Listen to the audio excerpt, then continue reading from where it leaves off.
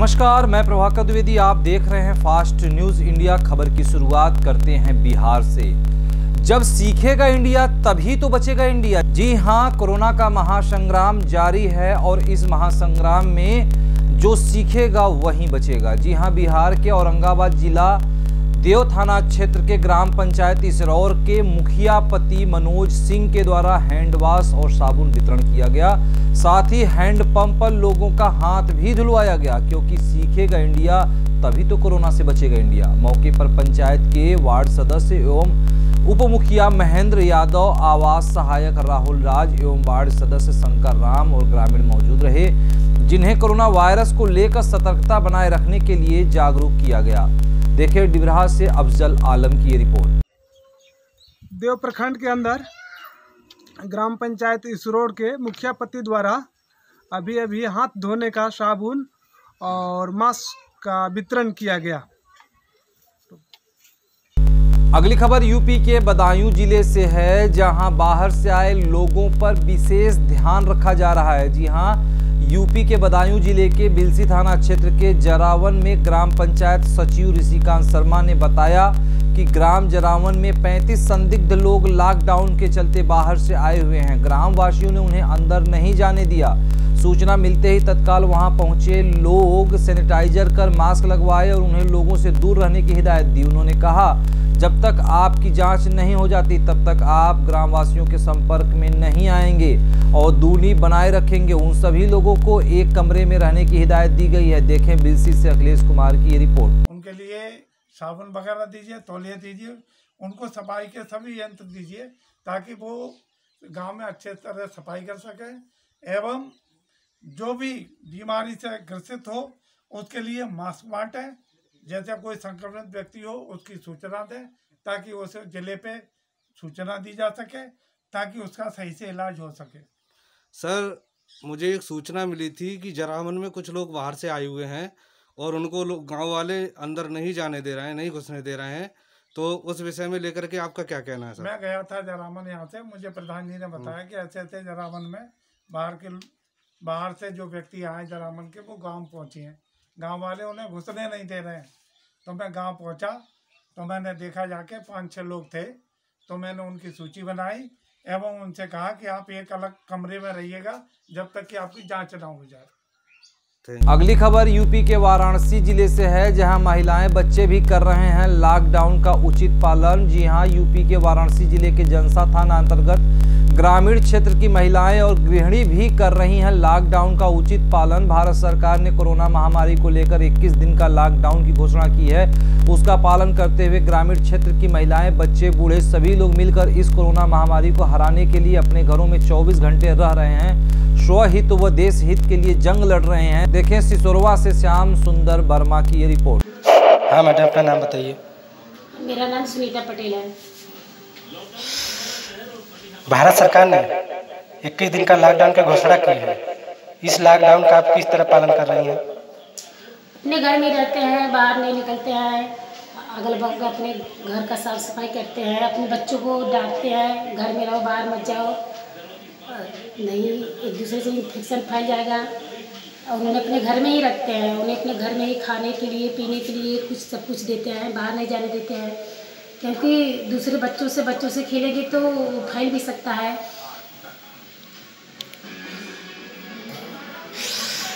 इस लॉकडाउन को देखते हुए इस लॉकडाउन के बारे में आपका क्या कहना है?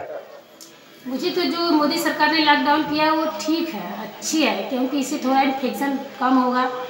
लेकिन तो कोई लोग अपने इस लॉकडाउन का पालन कर रहा है और कोई नहीं कर रहा है।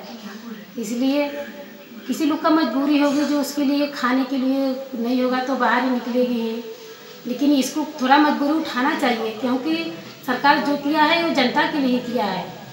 जो जनता की देखभाल करने के लिए इसका थोड़ा लोग कष्ट उठाएँगे तो सही रहेगा, ठीक रहेगा। कम से कम इसके इन्फेक्शन होने से तो रोकेंगे कम से कम सरकार इतना कर रहा है तो गाँव, घर का लोग अपना ही आसपास अपने गाँव का ध्यान रखे।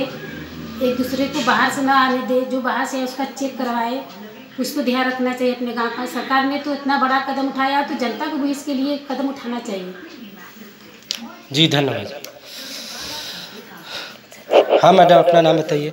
हमारा नाम संजना वर्मा है। भारत सरकार ने जिस तरह से इस महामारी को लेकर पूरे देश में 21 दिन का लॉकडाउन की घोषणा की है उसके बारे में आपका क्या कहना है? जो गरीब लोग हैं, वो का क्या खाएँगे? मोदी सरकार ने ये तो बना दिया है, जिसके घर में गेहूँ, चावल है, वो तो खा लेंगे। गरीब लोग जो रोज़ कमाते हैं, रोज़ खाते हैं, वो क्या खाएँगे? वो तो खाने के लिए धक तरस रहे हैं, मर रहे, रो रहे हैं। गरीब लोग जो रोज़ कमाते हैं, रोज़ खाते हैं, उसके लिए तो ठीक नहीं है। वो तो रो खाने के लिए तरस रहे हैं पानी पानी पीकर कैसे जिएँगे?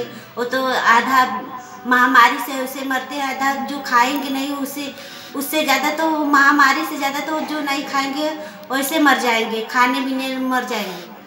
आप इस लॉकडाउन का घर में किस तरह पालन कर रही हैं? हम बाहर नहीं जाते हैं बाहर नहीं जाते हैं घर का साफ़ सफ़ाई करते हैं बच्चों को नहीं जाने देते हैं और खाने जब खाना खाना होता है तब कहते हैं बच्चों को कि हाथ धोकर साबुन से तभी खाएँ।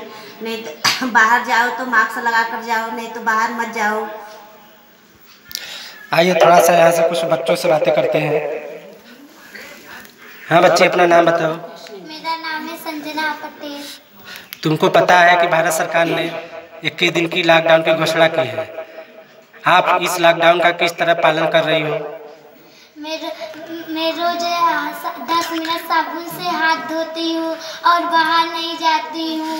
अपने भाई को भी कहती हूँ, बाहर मत जाओ। और अपने अगल बगल बच्चों को भी समझाती हूँ। बाहर मत जाओ और एक दूसरे के साथ मत खेलो। अगर खेलोगे तो तो उन लोग उन लोग को सर्दी खांसी जुकाम होगा तो तुम्हें भी आ जाएगा। बच्चे आप किस क्लास में पढ़ती हो? मैं क्लास थर्ड में पढ़ती हूँ। जैसा कि देख रहे हैं इस बच्ची ने कितनी अच्छी जानकारी दी है। एक हमारे पास एक छोटा बच्चा भी है उससे कुछ बातें करते हैं। हाँ बच्ची अपना नाम बताओ। मेरा नाम है अमन कुमार। तुम साबुन से हाथ धोते हो? हम साबुन से मल मल कर दस मिनट धोते हैं। और बाहर में मास्क वगैरह कर जाते हो? जाते हैं तो मास्क लगा कर जाते हैं। ओके। जैसा कि आप देख रहे हैं ग्रामीण क्षेत्र की औरतें अपने घर में बैठकर साफ़ सफ़ाई का विशेष ध्यान दे रही हैं और घर में बैठकर मूवी वगैरह देखकर अपने मनोरंजन कर रही हैं। हाँ बताइए। हाँ मैं जैसे कि मोदी सरकार ने जो किया है लेकिन जनता को उसको निभाना चाहिए। क्योंकि थोड़ा कष्ट उठाएँगे लेकिन तो इससे तो मुक्ति पा जाएगी ना। इससे ठीक तो हो जाएगा ना लेकिन जी। कष्ट उठाना चाहिए लेकिन क्यों नहीं उठा रहे हैं? जी। अपने घर में दो दिन तीन दिन चार दिन थोड़ा कम ही भोजन करके अपना व्यतीत करें लेकिन कुछ तो जनता को कष्ट उठाने बाहर नहीं जाना चाहिए। धन्यवाद। फास्ट इंडिया से मैं श्याम सिंह वर्मा एरिया इंचार्ज सिहोरमा नमस्कार। वक्त हो चला है एक छोटे से ब्रेक का। कहीं मत जाइएगा, ब्रेक के बाद जल्द हाजिर होंगे। Diamond international public school, Patta, affiliated CBSE board, admission open for class LKG to 10th village and post, Patta, tehsil Bhoranj district Hamirpur, Himachal प्रदेश।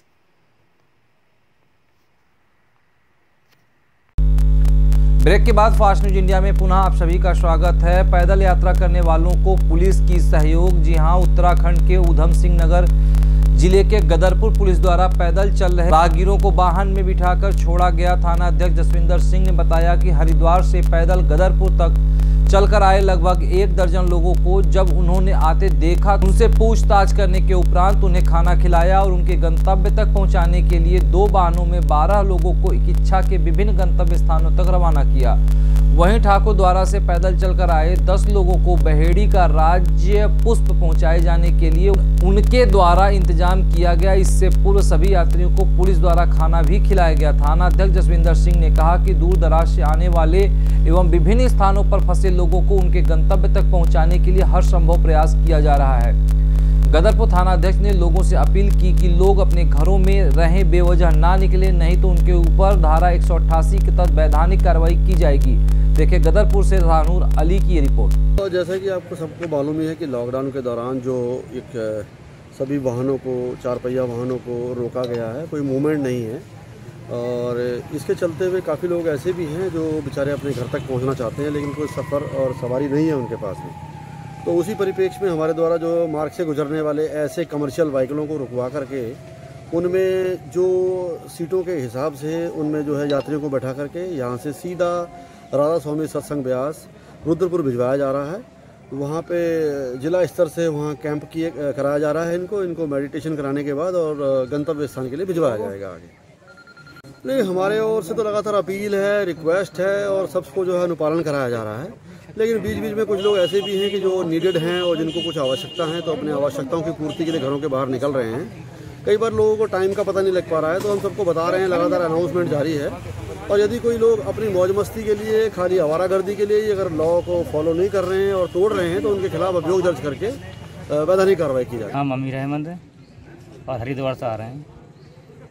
और जो ठेकेदार था उसने हमारी कोई मदद नहीं करी। कमरा लेकर दे दिया उसने और पैसे खाने के लिए दिए। उदयपुर की पुलिस का आपको ये व्यवहार जो कैसा लगा? अच्छा लगा। सवारी से भी बैठे हैं थोड़ी बहुत दूर पाँच छः किलोमीटर और कभी पैदल भी चले हैं हरिद्वार से। रजाक मोहम्मद नाम है। वायरस के कारण भुखमरी के कगार पर हैं लोग। यूपी के बरेली के शेरगढ़ का एक परिवार कोरोना वायरस के कारण भूखमरी के कगार पर पहुँच गया है। इस परिवार का कहना है कि हम दो दिन से भूखे हैं। हमारे यहाँ कमाने वाला कोई नहीं है और घर भी टूटा हुआ है और अन्न का तो घर में दाना ही नहीं है। ऐसे में हम लोग क्या करें? और कोई भी व्यक्ति मदद भी नहीं करता। देखे उधम सिंह नगर से लव कुमार की ये रिपोर्ट। क्या नाम है आपका? उस्मान अली। कहाँ रहते हैं आप? नहीं रहता हूँ। गाँव कौन सा है ये? पेड़गढ़। मोहल्ला कौन सा है? डूंगरपुर है ना? इसी घर में रहते हैं आप? हाँ। आपको ज़्यादा परेशानी है ज़्यादा परेशानी देख रहे हैं आप। क्या परेशानी है आपको बताएँ? अब खाने पीने की हर बात की परेशानी है। अकेले ही है घर में मरीजा जा रही है। अभी तक खाने का कोई प्रबंध नहीं हुआ आपके लिए? कोई हिसाब नहीं है किसी ने किसी तरह का कोई प्रबंध नहीं किया? ना हाँ। जी। और कुछ कहना चाहेंगे आप? परेशानी में यही है कि कुछ है ही नहीं तो करे, खर्चा क्या करे, काय का क्या करे तो अच्छा। इस बुलेटिन में बस खबरें यहीं तक, मिलते हैं कुछ खास खबरों संग। तब तक के लिए हमें दे इजाज़त। यदि चैनल को आप फेसबुक यूट्यूब ट्विटर इंस्टाग्राम पे देख रहे हैं तो कमेंट, लाइक, शेयर, सब्सक्राइब करना ना भूलें।